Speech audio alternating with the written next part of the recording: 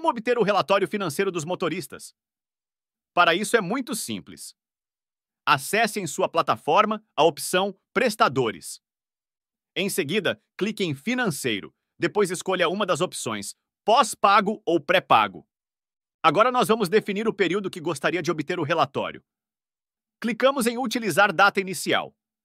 Definimos as datas e depois clicamos em Pesquisar. Podemos observar que surgiu uma lista com vários motoristas, mas como vamos escolher o financeiro de uma única filial, iremos selecionar a filial correspondente. Agora sim! Estamos com a lista que precisamos. Vamos clicar em Exportar para o Excel padrão e pronto! Já estamos com o nosso relatório em mãos. Vamos dar uma olhada? Aqui nós temos todas as informações que precisamos como nome do motorista, modelo do carro, quilômetros rodados, valor bruto, valor líquido, taxa da plataforma e muitas outras informações. Então é isso. Espero ter ajudado com essas simples explicações.